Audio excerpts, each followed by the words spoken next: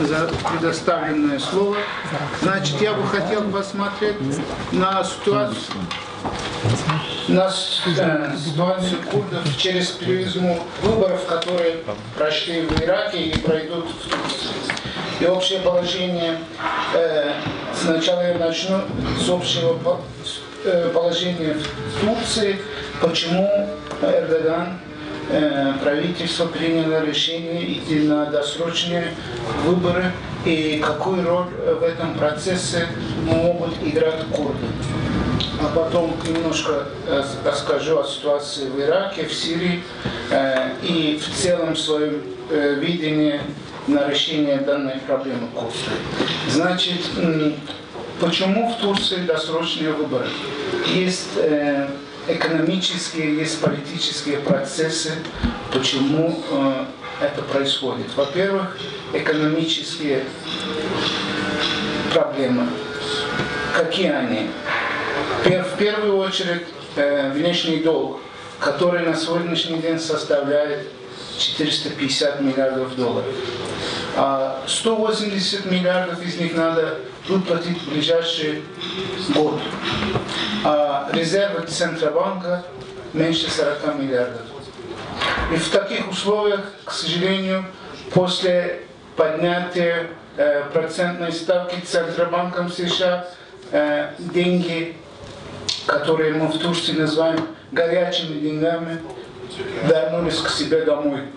Одновременно прекратилась поток инвестиций со, э, со стран э, Персидского залива.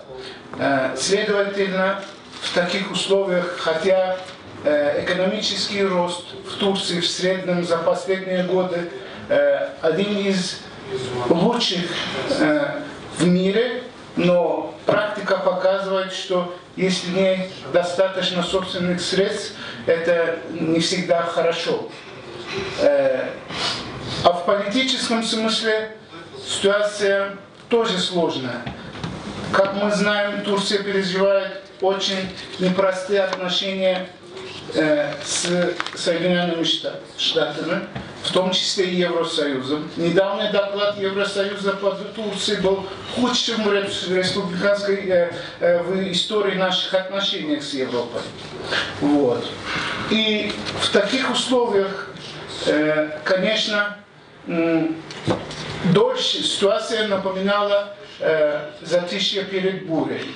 Э, кроме этого, справедливости ради надо сказать, что есть определенные успехи в сирийском направлении благодаря хорошим отношениям с Россией. Но они тоже, на мой взгляд, с непонятными перспективами, потому что есть серьезные противоречия с США. И я бы не называл с идеальными наши отношения с Россией тоже, потому что тоже есть существенные противоречия. Первое главное противоречие – это Асад, будет ли Асад дальше или нет. А второе противоречие – это все-таки положение курдов в Сирии. Россия предлагает, насколько я понимаю, и готова принять решение в таком виде, если у курдов будет автономия. Э, насколько я понимаю, и не против даже Федерацию, но считает, что это дело уже э, э, самих курдов и Асада и зависит от э, переговоров, их будущих переговоров. Но в любом случае есть противоречия. Это в таких условиях Турция идет на выборы. И самое интересное, скорее всего, э, голоса курдов будут определяющими. Почему? Потому что голоса, которые за Эрдогана около чуть больше, наверное, 40 процентов и оппозиция столько же главная оппозиция. А вот у курдов около чуть больше, может меньше, но около 10 процентов, которые будут определяющими. За кого же они будут голосовать? Э, лидер прокурской партии находится в тюрьме. Кстати, его обвиняют э, э, в том, что он оскорблял Эрдогана. Э, не только он, многие руководители этой партии в тюрьме. Даже оппозиция, главная оппозиция, Народно-республиканская партия и другие оппозиционные партии считают данную ситуацию не совсем справедливой. Э, Но обнадеживает тот факт, что практически все главные партии оппозиционные в своих программах э, говорят, что решение курской проблемы в Турции является одним из приоритетных, если они выиграют. Это очень обнадеживающая ситуация. Но также говорил сам Эрдоган всего лишь несколько лет назад. Он тоже таким же лозунгом, в принципе, э, выиграл предыдущие выборы, не последние, не перед последние, раньше. Э, Поэтому и еще очень важный момент, есть одна партия Худапар, прокурская, но они религиозные, вот они тоже буквально на днях приняли решение поддерживать Эрдогана. Их голоса э, не такие. Но у них немного голосов, но все-таки это имеет значение, но э, э их поддержка больше выглядит как э, из-за принципа враг моего врага мой друг, потому что, скорее всего, э, их сближает с Эрдоганом антикемалистический подход хотя я бы Эрдогана не называл антикемалистом, но э, час, это показывает, что часть курдов все еще надеется, что Эрдоган может решить курдский вопрос. Вот эта ситуация в Турции. В Ираке очень интересная ситуация тоже сложилась, потому что, как мы знаем, выборы прошли, но они прошли очень непросто, э, результаты спорные. Э, на первом месте э, Садр, а на втором месте это движение Фетих, которое поддерживает Иран. Это хаш-группа, хаш-шабы легализованном виде. Третье место тоже шииты, а четвертом месте малики. В целом, конечно, естественно, выиграла выборы выиграли ши шиитские коалиции. Но очень интересный результат. Партия КДП, то есть Курская демократическая партия Курдистана, во главе которого, которая находится в Барзане, как партия, то есть одна не в коалиции, а вот одна, выиграла, э, получила больше всех голосов. Это очень большой успех демократической партии Курдистана после референдума, который не совсем удачно закончился э, для них. Вот. Но э, кто выиграл выборы в Ираке, в целом это не, не так важно и никогда не было важно. В Ираке важно, кто умеет создавать коалиции. Вот это важно. Потому что было время, когда Малики стал прошлый, не прошлый, а позапрошлый премьер-министр, его партия тоже не выиграла, но коалиция решила, что он будет президент, э, премьер-министром. Вот э, сегодняшняя ситуация, опять-таки, непонятная. Скорее всего, э, у курдов будет э, в парламенте э, около 50 депутатов, что есть хорошо. Я точно цифры не могу назвать, потому что буквально позавчера э, Конституционный суд Ирака час выборов отменил. Результаты часть выборов отменила. Поэтому там э, ситуация не до конца ясна. Ясно то, что курды активно участвовали э, в э, процессе выборов, и, скорее всего, следующий президент Ирака тоже будет э, курд, как это принято. Скорее всего, это будет, э, может быть, Хоши Забари, бывший премьер-министр э, Ирака по национальности курд.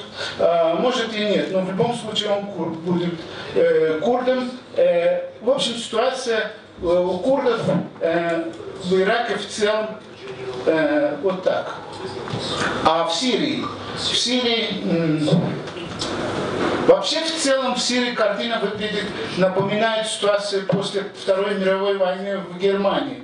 То есть созда, создали, создались уже зоны влияния, как тогда было в Германии, тогда тоже было Франция, Англия, у всех свои зоны.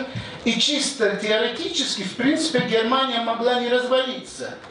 Но так как они между собой не договорились, развалилась. То есть есть сведения о том, что даже Сталин был против, чтобы Германия развалилась. Но суть не в этом. Такая же ситуация в Сирии. На мой взгляд, дальше уже говорить о единой Сирии очень сложно, но все может быть, если все договорятся между собой. И в таких условиях, благодаря сотрудничеству с, с э, Россией, Турция, э, вела свои войска, и в том числе те силы, которые поддерживают, поддерживаются в Турции э, на запад Ефрата, раньше эта зона была э, под влия... э, зона влияния э, России, зоной влияния России. А теперь этот регион э, контролируется Турцией. Э, Есть район Шахба, который Турция тоже хочет взять под свой контроль, но пока ситуация там не совсем ясна. И второй э, очень важный вопрос – это город Мемдич, в который, который контролируется американцами и, с курдами, э, и курдами, но по последним сведениям Турция договорилась, что в течение месяца американцы оттуда выведут э, курские силы. Э, посмотрим, как все это закончится. Но дело вот такое. Сейчас главный вопрос в Сирии, кто будет контролировать зону Идлиб, часть Алеппо и вплоть до границы Израиля. Э, Вот основная проблема в этом. Все еще ситуация в Сирии и положение курдов в Си- Сирии остаются э, э, проблематичной и э, да, уравнением со многими неизвестными. Э, В целом, это все, что я хотел сказать о ситуации курдов в этих республиках, но я хочу о другом говорить немножко. Вот мы все, позавчера мы когда начали нашу конференцию, да, там выступали очень интересные, уважаемые люди, в том числе э, представитель католической церкви Сирии, представитель мусульманского мира. И все говорили о справедливости. Не было ни одного ученого и религиозного человека, который не упоминал о факторах э, справедливости. А ни один из них не говорил о проблемах курдов. Католический, представитель католического, католической церкви э, из Сирии полчаса нам рассказал о том, что до появления американцев в Сирии все было хорошо, у всех меньшинств были одинаковые права и так далее. Мне хотелось ему сказать, вот русское выражение, не смешите мои тапочки. Когда там, там как, еврейское, неважно, как, как, как там все было хорошо, если, будучи э, религиозным представителем духовенства, он ни одного слова о проблемах курдов не говорит. Мусульманск, представительство мусульманской религии. Тоже говорил о том, что проблемы надо решить с точки зрения справедливости. Я с- э, ему 150, 135 худ- э, суре в Коране. Будьте справедливы, если даже это против вас и против ваших родителей. Молчание. Потому что когда речь идет о курдах, все забывают о справедливости, о религиозных ценностях, о демократических ценностях, о всех других ценностях. Почему? Потому что курдский вопрос, он реально очень-очень глобальный и важный. Как только этот вопрос выходит из бутылки, придется всем переписать свои истории в регионе. Потому что э, все эти страны, которые есть вокруг курдов, их существование до сих пор обеспечено с идеологией отрицания, курдского факта. Поэтому я хочу сказать, что коротко заканчивая, турбулентность на Ближнем Востоке все еще долго будет продолжаться, и на мой э, на, э, на мое э, субъективное мнение, без решения курского вопроса эта турбулентность никогда не закончится. Но главный вопрос, кому это надо? Решение курского вопроса. Может быть, так и надо. Спасибо. Так, так